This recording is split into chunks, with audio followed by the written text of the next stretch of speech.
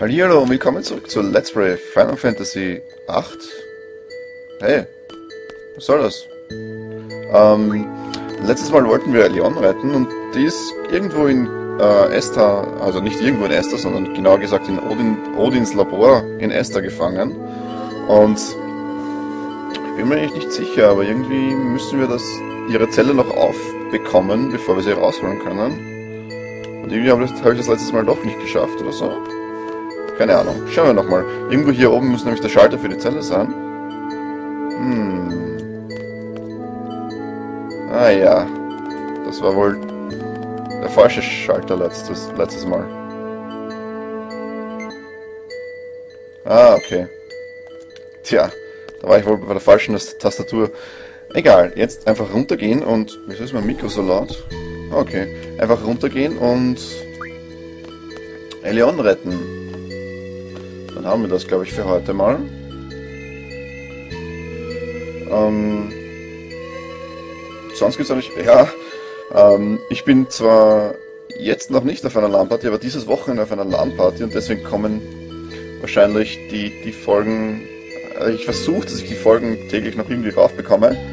Allerdings kann sein, dass dann einige, äh, dass dann ein Tag oder zwei Tage, Tage jetzt keine Folge kommt. Oh. Hallo Elian. Also nicht böse sein. Ich brauche auch meinen Spaß. Nicht, dass das kein Spaß wäre hier. ah, okay. Final Fantasy 8 wäre natürlich... Ah, Final Fantasy 9 wäre natürlich noch mehr Spaß als das 8er. Aber dazu kommen wir erst. Gut, das war die letzte Laguna-Sequenz. Das heißt, kein Laguna mehr für uns in diesem Spiel. Schade, schade. Zumindest sind wir jetzt zu uns gekommen und die anderen sind natürlich nachgekommen jetzt mit dem Aufzug, auch wenn nicht genau klar ist, wie wir das geschafft haben. Okay, und wir werden mal begrüßt von irgendjemandem aus Estar. Hoffentlich. Oh oh.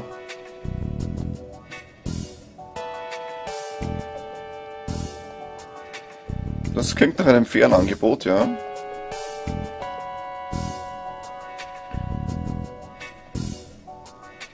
Ja, lass die Mama sprechen. Kleiner Pup.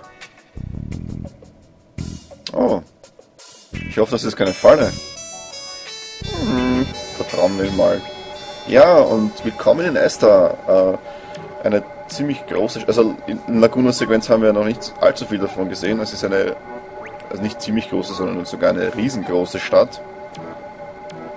Mit allem, allem möglichen Zeugs drinnen. Also hat sogar einen, einen eigenen... Äh, eine eigene Landebahn, ein riesengroßes äh, Shoppingzentrum und äh, eine, ja genau, die Residenz, also so einen Präsidentenpalast oder was auch immer das sein soll. Und noch vieles anderes. Und Esther ist sicher die, also es zwar nicht unbedingt die interessanteste Stadt, aber zumindest die coolste Stadt, weil die interessanteste Stadt, würde ich schon fast sagen, ist Fisherman's Horizon, also die ist wirklich auch vom Design her gut gelungen, aber Esther ist ziemlich cool, also da kann FH nicht mithalten. Oh, und EDR hat jetzt den, dem Esther-Typen erzählt, was sie haben will, also dass Odin ihr die böse Hexe austreibt. Bin ich gespannt, ob... Oh... Hey, das ist Professor Odin, den, den kennen wir schon. Übrigens, ich hoffe, ich bin nicht der Einzige, für den er wie ein Clown aussieht und mit dem... Ich weiß gar nicht, ist das ein Kragen oder was das genau sein soll?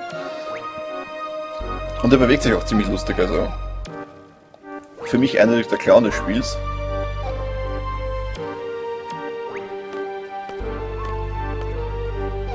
Hä? Wie jetzt keine andere Wahl? Wir haben immer eine andere Wahl. Ihr seid des Wahnsinns. Ah. Ich glaube nicht, dass uns das so schnell erzählen wird.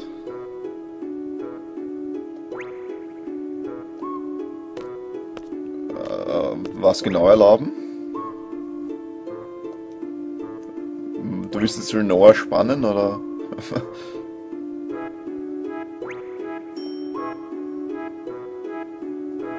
okay, klingt vernünftig.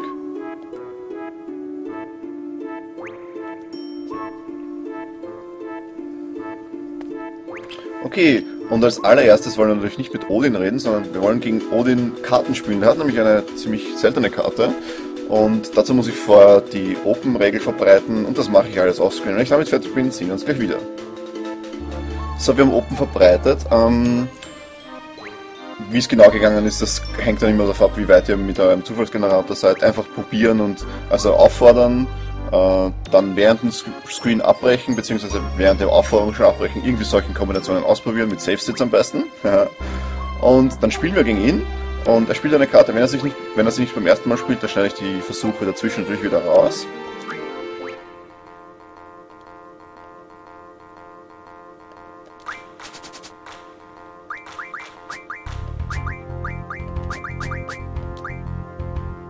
Na endlich spielt er sie.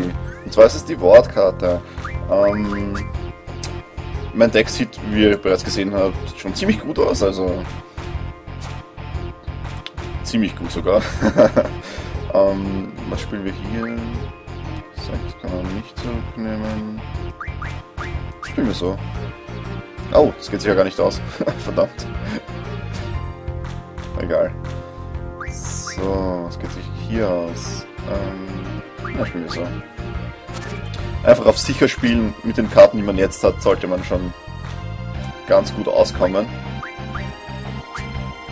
Ja, die letzte hole ich mir auch noch. Die kann er sich... Ah, oder auch nicht. Egal, wir haben die Wortkarte.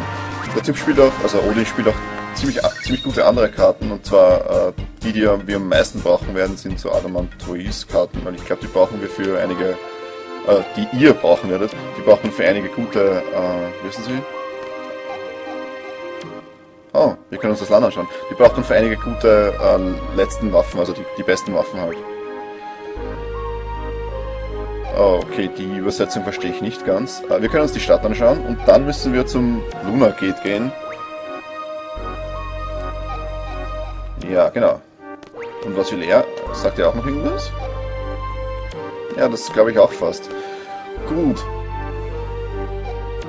Genau das Renoir wird quasi nachgebracht. Ähm, wir, gehen, wir können zwar, links geht es noch nirgends weiter, deswegen gehen wir einfach rechts raus. Also links ist zugesperrt quasi, da sieht man gar nichts. Und dann zeige ich euch kurz mal die Stadt. Also kurz mal, es wird eh einige Zeit dauern. Ähm, das ist jetzt wie gesagt der Palast, der ist im quasi nördlichen Teil von Esther. Und Esther hat, ist nicht nur sehr groß und hat sehr viele lange Wege, sondern hat auch ein ziemlich tolles Transportsystem. Abgesehen von den tollen Aufzügen hier und der wirklich tollen Zwischensequenz, die wirklich jedes Mal kommt, wenn man mit dem Ding fährt. ähm ja, wie gesagt, und, und die, die, die Wege sind, also sind in der Regel angeordnet in einem Ring um die Stadt, also ein äußeren Ring um die Stadt. Und dann gibt es zwischendurch noch so quasi Kreuzwege. Hey, da gibt es gleich einen, einen Drawpunkt. Schauen wir mal, was das ist. Eis. Nein, danke. Geht schon. Habe ich schon genug. Wieso ist, ist Urban nicht gekoppelt? Kurz mal nachschauen. Urban ist wirklich nicht gekoppelt. Keiner ist gekoppelt, oder? Oh ja. Egal, brauchen wir jetzt noch nicht. Machen wir nachher. Ähm, was auch wirklich wichtig ist, hier ist zu verstehen, wie das Ding hier funktioniert, das da in der Mitte rumschwebt. Das ist nämlich, ähm, wir wollen zur R-Station. Das ist quasi so ein kleines Taxisystem. Äh, funktioniert wie die Aufzüge, nur dass es nicht rauf und runter fährt, sondern quasi seitwärts. Und zwar durch solche komischen Röhren. Bewegt sich deutlich, also damit geht es deutlich schneller durch die Stadt als quasi nur zu Fuß. Wir sehen schon. Leider spart man sich die Ladezeiten zwischen den einzelnen Bildschirmen dadurch auch nicht. Aber wir sind gleich bei der, Air, äh, bei der Air-Station, das ist quasi der Flughafen oder die Landebahn oder wie auch immer. Das wird später noch interessant, aber dauert noch einige Folgen bis dorthin. Hier wollen wir trotzdem etwas machen, und zwar mit den beiden Reden hier. Und das solltet ihr mer euch merken für bis, glaube ich, die nächste Episode. Wir haben heute so viel vor, das sehen wir heute nicht mehr. Genau. Und vor allem mit dem müssen wir reden, also mit dem Berater, der sagt, äh, wir wechseln uns immer ab. Was genau heißt, sehen wir, oder müssen wir mit ihr auch reden? Das sagt sie ja nicht. Okay. Äh, ob er mit dir reden muss, weiß ich nicht genau. Mit ihm muss man auf jeden Fall reden. Und es geht weiter in Richtung Magie. Bohr? Was ist ein Bohr? Okay. Da dürfte vielleicht ein A fehlen. Ähm, genau. Das Magielabor ist äh, Odins Labor, das wir schon aus Lagunas Traumsequenz kennen. Das ist zwar interessant, aber brauchen wir nicht aussteigen. Das grüne Feld hier übrigens ist ein automatisch heilen Feld. Das heißt, jedes Mal, wenn wir hier durchfahren durchgehen, wird immer automatisch vollgeheilt. So, wo wollen wir jetzt hin? Ähm, äh, wollen wir nicht... Wir wollen zum Stadteingang, genau. Ähm, dann haben wir die Runde schon, Runde schon fast komplett. Also es gibt noch einige andere Screens. Aber die sind vorerst mal nicht wichtig. Die werden später noch wichtig, aber hier sehen wir auch linke Seite und rechte Seite. Einen genauen Plan von der Stadt sehen wir, also einen ungefähren Plan von der Stadt sehen wir nachher auch noch. Das ist übrigens der Ausgang. Hier nach unten geht es raus aus der Stadt. Können wir auch ein Auto mieten. Brauchen wir wahrscheinlich nicht. Äh, es geht wieder zurück Richtung Residenz, weil da fahren wir noch beim Shoppingzentrum vorbei und da wollen wir aussteigen und kurz etwas einkaufen gehen. Glaube ich zwar. Ja, genau. Genau, ich weiß schon. Und zwar gibt es zwei Sachen, die wir... Äh, nein, hier wollte ich eigentlich nicht. Oh, damit, ich bin falsch gefahren, glaube ich. Oh oh. ähm, das war das, das war das falsche, die falsche Richtung. Egal, nicht so wichtig. Wir müssen, wir hätten nämlich müssen durch den roten hier gehen, aber tja, so ist es. Hier sind wir quasi wieder beim, beim Präsidentenpalast. Hier links wird es zum Palast weitergehen. Na. Genau, und wir wollen eigentlich Richtung Einkaufszentrum. Wir haben noch vor, etwas zu kaufen. Genau gesagt zwei Sachen. Okay, was gibt es sonst noch? Genau, und dann gehen wir zurück zum Palast und machen dort auch noch was. Allerdings ist nächste Folge, glaube ich fast. Und das will sich nicht mehr ausgehen. Ja, oh ja.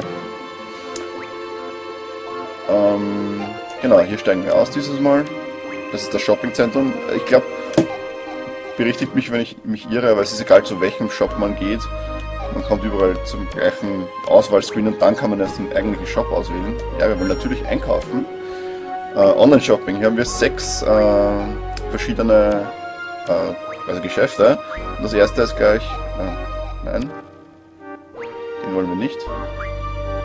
Und zwar, wir waren Rins, Rinrins Zoogeschäft. Heute Schlussverkauf. Cool. Da haben wir Glück gehabt, oder? Und zwar gibt es hier Mein Hund 5 und 6. Die brauchen wir unbedingt. Und dann wollen wir in Cloud Shop, das ist der quasi Itemhändler. Da wollen wir... Mh, hm, was sind denn die? Äh, Megapille. Ich glaube Megapillen sind das, ne? Die wir brauchen dann später. Megapille. Ja, es müssten Megapillen sein. Äh, von denen brauchen wir relativ viel. Kaufen wir mal so viel. Sollte vorerst mal genug sein. Machen wir sonst noch was? Zelte haben wir noch. Ja, haben wir noch genug. Ähm, genau, dann raus hier. Okay, goodbye and have a nice, nice journey. Dann Richtung Residenz fahren. Und wisst ihr was? Ah, ich zeig's doch, doch, ja. Muss ich doch rausgehen. Ähm, die beiden bei der, bei der Air Station, also bei der, beim, beim Flugplatz werde ich jetzt künftig sagen, weil Air Station ist, äh, passt nicht irgendwie, irgendwie nicht so gut zu den ganzen übersetzten Sachen hier. Die beiden beim Flughafen äh, haben nämlich Auswirkungen auf jemanden, der im Palast sein Unwesen treibt oder Unwesen treibt. Nicht wirklich Unwesen treibt, aber zumindest äh, äh, vorzufinden ist. Dazu müssen wir zuerst mal reingehen. Äh, das wird sich heute nicht mehr ausgehen ganz. Vor allem, die Animationen dauern immer sehr lange beim Aussteigen. Okay, bis vor dem Palast schaffen wir es allerdings noch. Ich hoffe, ihr habt jetzt genug von Esther gesehen vorerst mal. Äh, weil... Nächstes Mal geht es wieder aus Esther raus und dann machen wir etwas ganz Besonderes. Was das ist und wofür wir die ganzen Megapin gekauft haben, das sehen wir nächstes Mal, wie es heißt Let's Play Final Fantasy VIII. Und bis dahin wünsche ich euch wie immer viel Spaß